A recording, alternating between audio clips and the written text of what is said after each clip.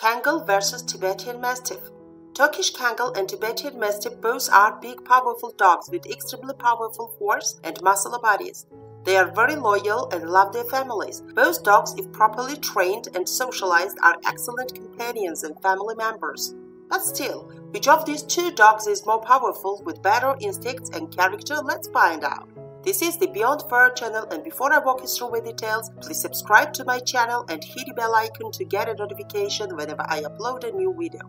Both are excellent representatives of livestock and property guardian dogs, but if we compare them, we'll see their character clearly and what makes them better or worse.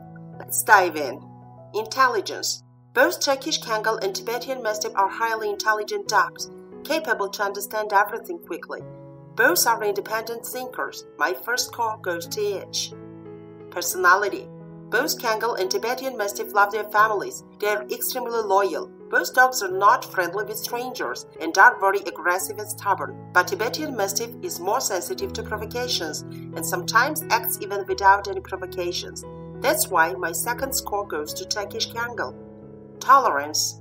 Both dogs don't like to be alone for a long time because both dogs love their families. Kangal tolerates hot weather and is less likely to tolerate cold weather.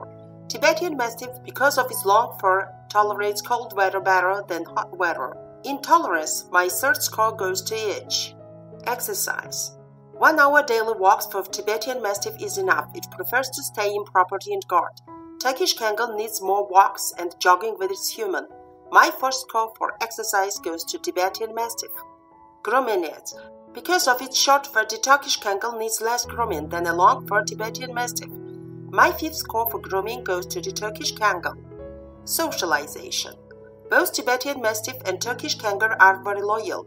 They both love and protect their families, but none of them is friendly with strangers until they are properly socialized. My sixth score for socialization goes to none of them. Guardian. Both Tibetan Mastiff and Turkish Kangal are rescue dogs. They guard livestock and property and have been doing it throughout centuries. Their guardian skills are excellent. They are ready to protect their territories at any cost. My seventh score for guarding goes to each. Breed instincts. Common Tibetan instincts are below average in both dogs.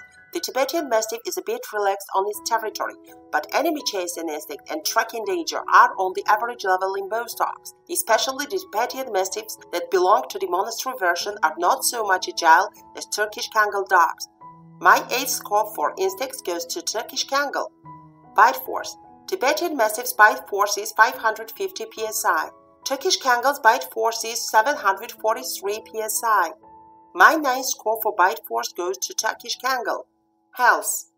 As all other dogs, these dogs have their health problems too. Turkish Kangal mostly suffers from elbow and hip dysplasia, while Tibetan Mastiff, together with the disease named here, has other serious health issue called demyelinating neuropathy, which is met only in Tibetan Mastiffs and causes hind legs paralysis. My test score goes to healthier Turkish Kangal.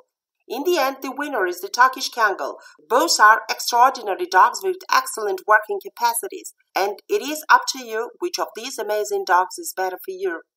Hope you found my video informative. Thank you for watching, and see you in my other video.